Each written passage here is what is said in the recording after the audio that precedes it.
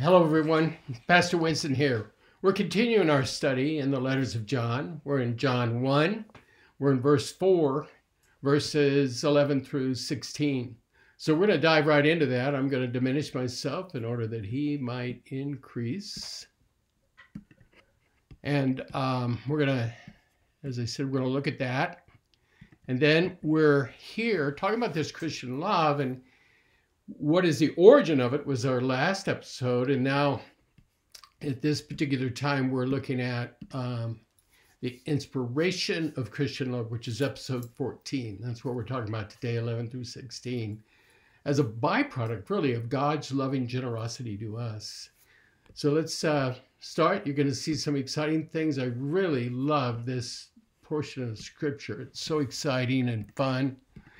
There's so much about it. Beloved, if God so loved us, we also ought to love one another. Now, so right there, see that word if? That really bothers me a little bit. I really think it should be since God so loved us because it sort of fits the context better. Unfortunately, the ESV uses if, but the NIV uses since, and so does the New Living. So I kind of trend towards that for this particular verse. I just think it it's more um, I don't I don't find a lot of conditionality about God's love. I think it's unconditional love. And so um, I think that that since God so loved us, we also ought to love one another. And no one has ever seen God. If we love one another, God abides in us, and His love is perfected in us. But uh, we're going to look at th- three basic ways here where uh, we see God's love reflected in us. And I lost my cursor here. I don't know where it went, but we'll just try punching something. There we go. And um, so a reflection of his divine love, and this is love, not that we have loved God, but that he loved us. And sent his son to be the propitiation for our sins. So that's verse 10. That's before we get to 11. So there's that certainty again, right? He loved us and sent his son. No one, to continue, no one has ever seen God if or when we love one another. When we love one another, God abides in us and his love is perfected in us. So we're going to, you're going, that's going to happen. It's as, as if it's, it's a true statement. When we love one another, God abides in us. And so his love is therefore perfected in us. Um, this this whole idea of reflecting the love of God that's in us as He abides in us is, I mean, you see it in our church's motto even to to reflect the divine love that's already really been showered upon us. So that's the first way that the inspiration occurs for us. And then here's here's the second way, the unparalleled experience of it all. Um, wow, I mean, so listen to this. By this, God abides in us. This is that God abides in us, and His love is perfected in us. Perfected in us. We know that we abide in Him, and He in us, because He has given us of His Spirit. And then 1 John three twenty four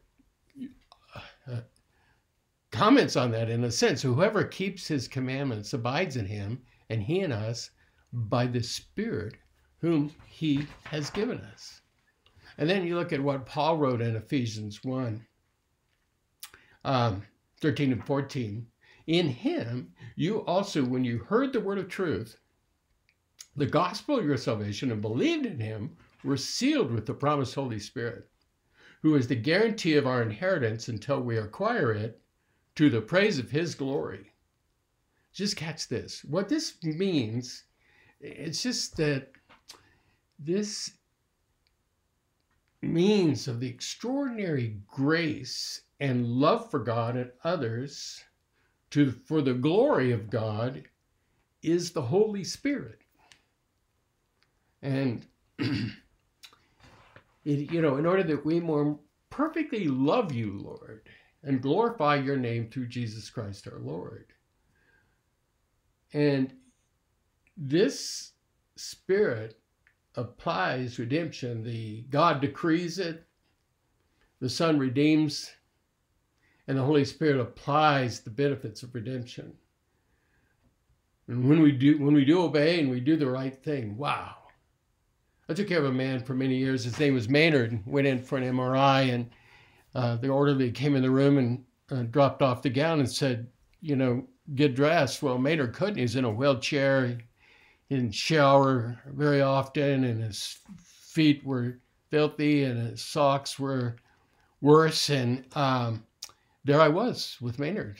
And so I had to undress him and get the gown on him. And I started with his feet. And when I knelt down to do that, it was an just an extraordinary, unparalleled experience with the Spirit of God.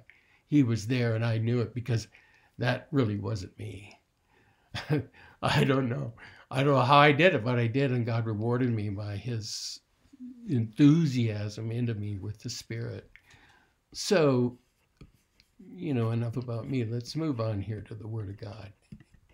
And finally, the, the gospel pro- proclamation of our testimony. In verses 14 through 16, it says, We have seen and testified that the Father has sent his Son to be the Savior of the world. Whoever confesses that Jesus is the Son of God abides in him, and he in God.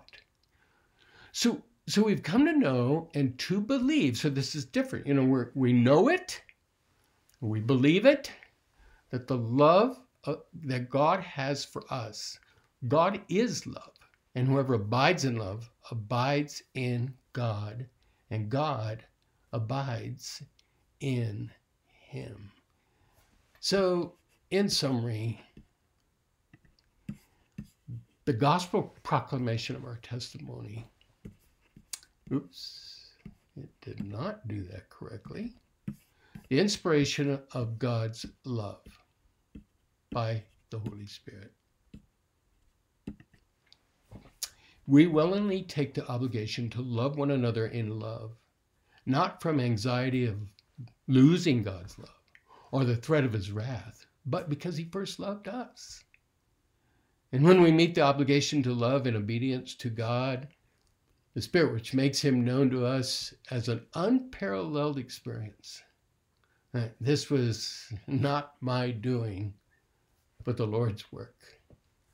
And when our testimony of the gospel presses into our lives over and over again. This is wonderful news, folks. The Holy Spirit working within us, reminding us of everything that Jesus taught us is in you and me and waits on us and even moves ahead of us. Enjoy your experience with the Holy Spirit this week and forever. I'll see you soon. God bless.